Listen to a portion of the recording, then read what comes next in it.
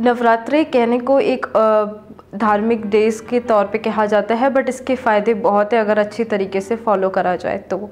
जैसा मैंने पहले ही बोला था it's a Indian detox of the year नवरात्रों के दौरान आपकी बॉडी क्लेंस होती है डिटॉक्स होती है, आपकी बॉडी से सारे टॉक्सिन्स फ्लश आउट होते हैं, क्योंकि नवरात्रों के अलावा हम दिन भर ice cream soda cold drink chips जैसे चीज़ों को खाते हैं बट नवरात्रों के दौरान ही हम लोग बहुत ही अलर्ट होकर खाते हैं। अलर्ट होने से हम फालतू की चीज़ों का उपयोग नहीं करते हैं। हमारी डाइट में रोज़ घर का खाना खाया जाता है, जिसमें घर का खाना कैसा भी होता है, हमेशा हेल्दी होता है बाहर के खाने से।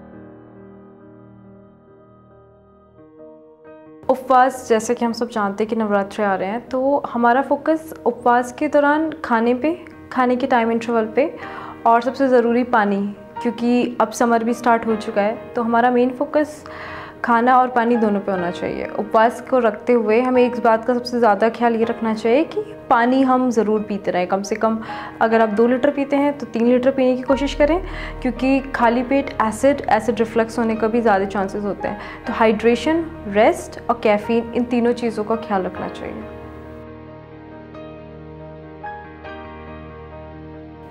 डायबिटीज़ और ब्लड प्रेशर यस दोनों ही उपवास रख सकते हैं। बीमारी कोई भी हो, हर चीज़ का सॉल्यूशन फ़ूड होता है। तो उपवास में भी फ़ूड ही मेन इंपॉर्टेंट चीज़ होती है।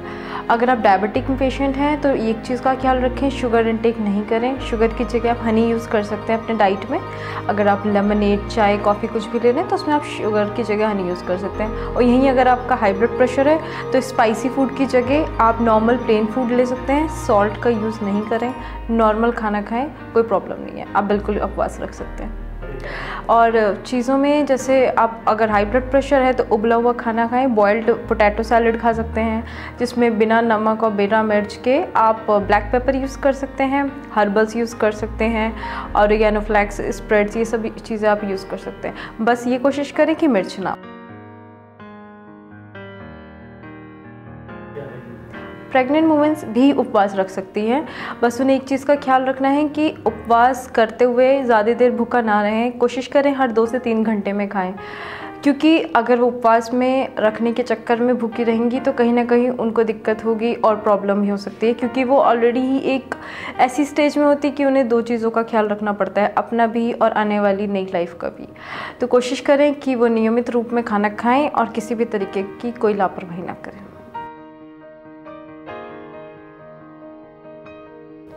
अगर आपको उपवास के दौरान कहीं पे भी लगता है कि आपकी तबीयत ख़राब हो रही है तो एक चीज़ का ख्याल रखें। उपवास से ज़रूरी आपकी हेल्थ है तो वहीं अगर पानी पिए और उसके बाद कुछ खाएँ। कई बार हमारा अक्सर उपवास खाली पेट रहने से ग्लूकोज लेवल डाउन हो जाता है। तो अगर आपको कहीं भी ऐसा लगता है तो उठ के नींबू, पानी चीनी या शहद के साथ ज़रूर लें। उसके बाद भी अगर आपकी तबीयत ठीक नहीं होती है तो डॉक्टर को दिखाएँ और व्रत की ना सोचें, अपनी हेल्थ की पहले सोचें।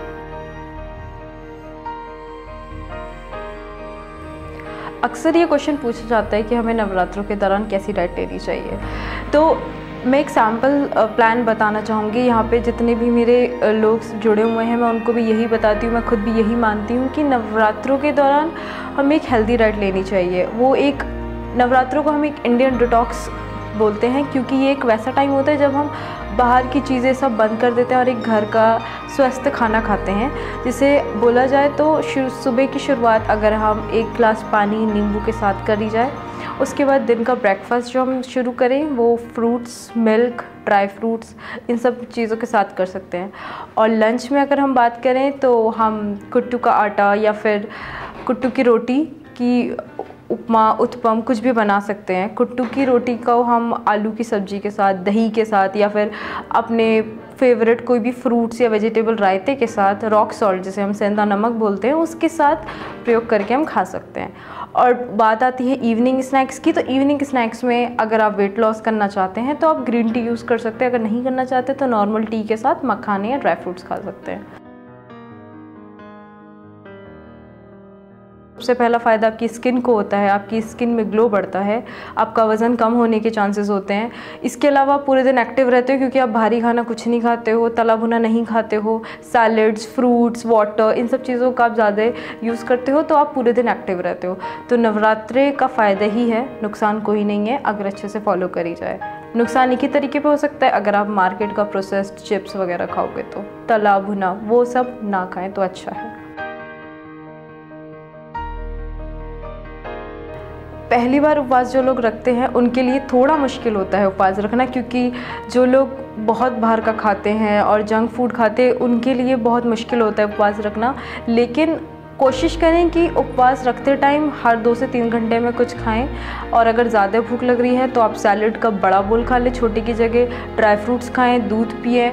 कॉफ़ी पसंद है तो कोल्ड कॉफ़ी बना के पी लीजिए। चाय पसंद है तो चाय पी लीजिए। और शेक्स अगर जूस कोल्ड ड्रिंक का शौक़ है तो आप फ्रूट जूस पी सकते हैं। गर्मियाँ आ चुकी है, आप फ्रूट शेक्स पी सकते हैं स्मूदीज़ पी सकते हैं। उससे ना तो आपकी भूख भी ख़त्म होगी, दूसरा आपकी डाइट भी अच्छी और हेल्दी रहेगी। तो इसमें कोई नुकसान नहीं है, फ़ायदा ही।